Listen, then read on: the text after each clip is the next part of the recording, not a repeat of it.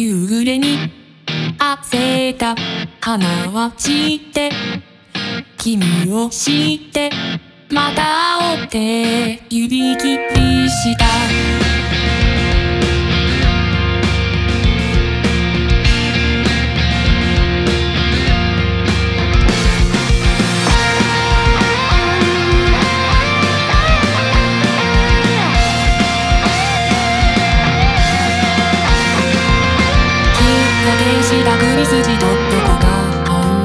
口ぶそで君を待つ口実と金の匂せぬ待ちぼうけ。一歩ずつを重ねては少し。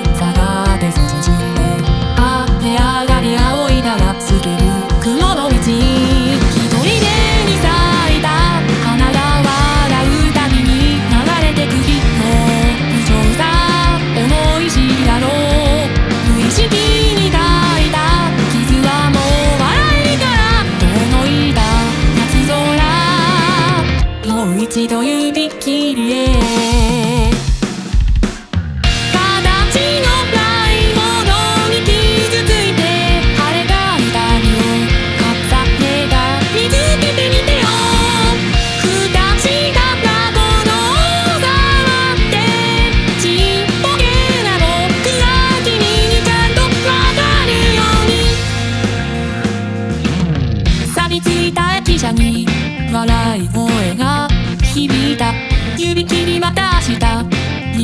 汗が綺麗がわざとらしくおどけて言葉にできなかった。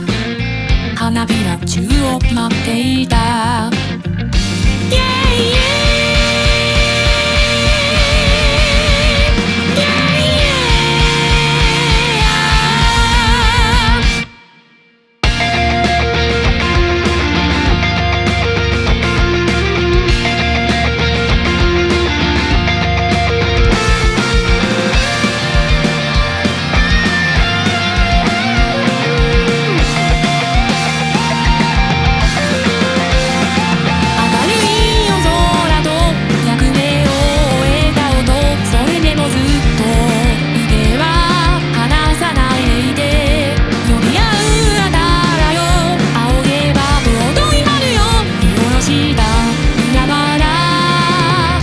う一度指切りへ